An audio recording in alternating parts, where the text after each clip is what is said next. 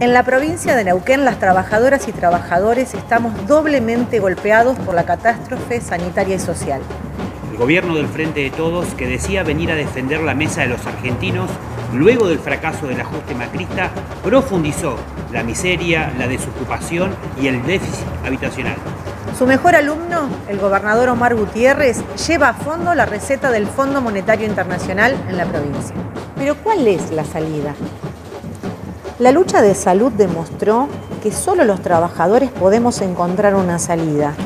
Cada uno de los reclamos populares exigen medidas de fondo que ningún gobierno está dispuesto a ejecutar.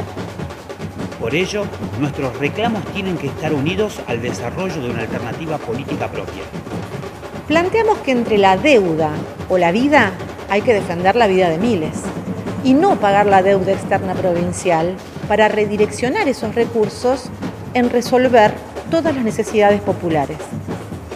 Te llamamos a luchar por esta salida y por esto el Partido Obrero propone listas únicas del Frente de Izquierda y un gran congreso del Frente de Izquierda Unidad abierto a todos los y las protagonistas de las principales luchas de la provincia.